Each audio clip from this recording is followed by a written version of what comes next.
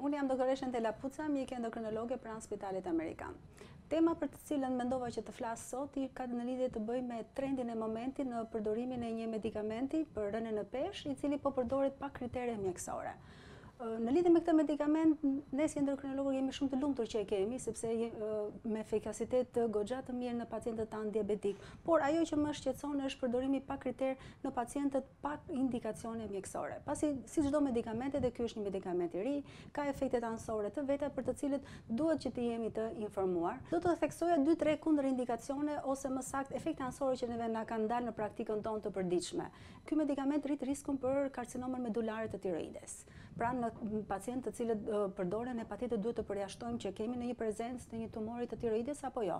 Së dyti, kemi një rritje të incidencës për pankreatitet akute, janë disa urgjencë, është një urgjencë mjekësore e cila shpeshherë mund të shkojë dhe në fatalitet dhe problematika e tretë është mund të rrisë riskun për dhe gurë në tëmth. Pra, duke ditur këto tre problematika kryesore, nuk mund të merret një medikament pa indikacione nga mjeku. Nuk është se jam kundër këtij medikamenti, por patjetër duhet me indikacion nga mjeku. Vjen në konsultë, paraqitemi, e vlerësojmë, në qoftë se janë sipas kritereve që është përcaktuar edhe nga FDA-ja ose edhe nga Shoqata Europiane e Mjekësisë, atëherë pacienti patjetër mund ta përdorim.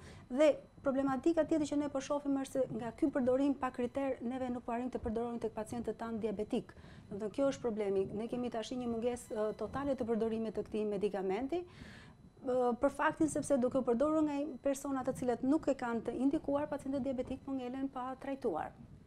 Dhe për faktin sepse ky është një medikament shumë kollaj, po themi neve në gjuhën popullore, domethënë përdoret me injeksion një herë në javë, domethënë ka marrë një masivitet goxha të lartë. Prandaj ju bëj thirrje që asnjëherë të mos merrni medikamente pa indikacionin e mjekut.